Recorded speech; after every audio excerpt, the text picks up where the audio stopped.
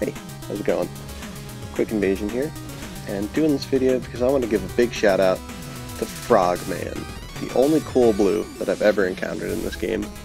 Most blues, just absolute narcs, absolute fun haters. Uh, bow builds, also fun haters. They like to just run away and uh, do jump shots at you. So I switched to a halberd because I'm trying to deal with this phantom pretty quickly. And then he switches to a mace and is using this Ash War that I have never seen before. And so now I just look like a try-hard asshole. Uh, and he's cool off-meta guy, but that's alright. I cut off some parts of this invasion because, you know, I was just running away to heal. And big mistake on their part, that's when you really want to put the pressure on when someone's getting away to heal. And they were just freely letting me heal, I cut those parts out. And make pretty quick work of him, and about a minute into this invasion, a blue got summoned know, big surprise. Um, a lot of invasions, it's just like an endless stream of them. And this guy, pretty typical blue, uh, just gets in there, starts mashing that L2 button. Uh, but it works when you're in a group, so hey, you know, just keep doing it. He has no armor on, so no poise. So that Dragon Halberd Ash of War true combo, and he pretty much eats the whole thing, finish him off while he's trying to heal. And would you believe it or not, another blue shows up. At this point, I'm kind of starting to get annoyed, but he gives him that friendly crouch, gets naked, and puts that frog helmet on.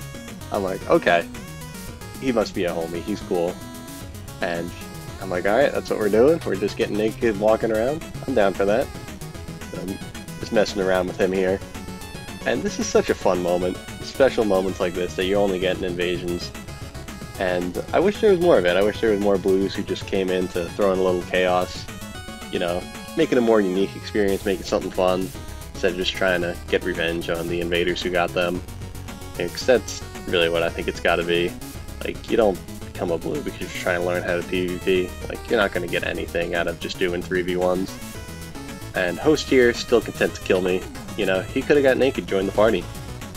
But, nah, he, he wants to, you know, kill me, try to finish the job. You know, get a lovely rolling backstab there on Piercing Fang.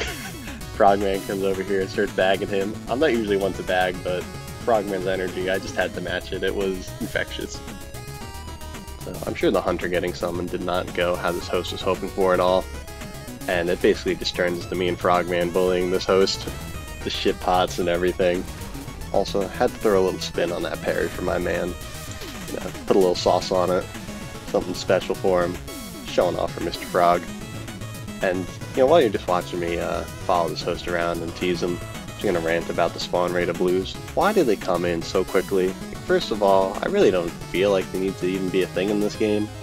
Like, you're already 2v1 at the worst if you're getting invaded. And, like, they just keep coming.